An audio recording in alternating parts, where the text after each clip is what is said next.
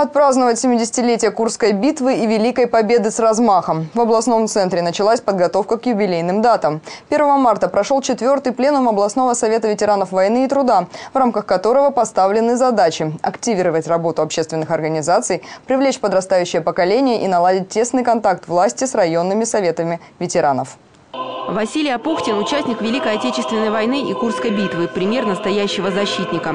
Защитника не только страны, но и своей малой родины – города Обаянь.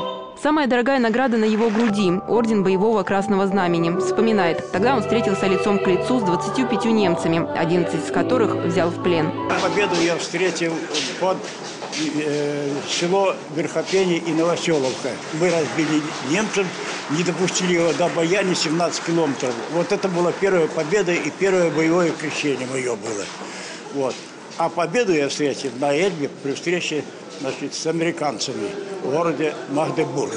Услышать из первых уст правдивую историю войны, увидеть, чьими руками ковалась победа. Патриотическое воспитание – одно из главных направлений работы ветеранских организаций. Особенно актуально в преддверии 70-летия Курской битвы. Празднование, оно должно заключаться не только в чествовании наших ветеранов, уроки мужества, встречи ветеранов на предприятиях, проведение каких-то различных э, встреч, которые проводятся в виде зорниц, игровых мероприятий. Патриотический дух – ключевая составляющая государственности. Курская молодежь подарила ветеранам военные песни.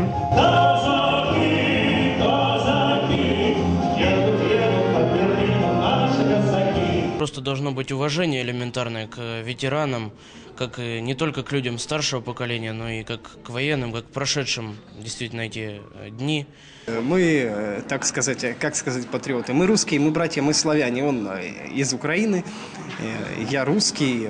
Мы любим родину свою, такую, какой она есть. Ветераны и участники войны, ветераны труда, труженики тыла. В регионе проживает более 100 тысяч настоящих героев. Государство их поддерживает. Уделяет большое внимание, потому что вот наш район даже ветеранам, вдовам участников Великой Отечественной 130 квартир выдали. И маленький ремонт делаем. Уделяют внимание. В первую очередь пенсионное обеспечение.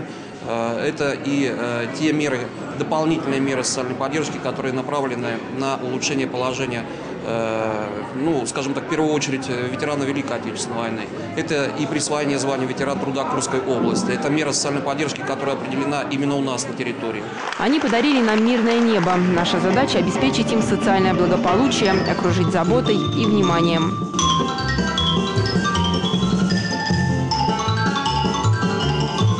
Ирина Шашкова, Владимир Придворов, телеканал «Сеим».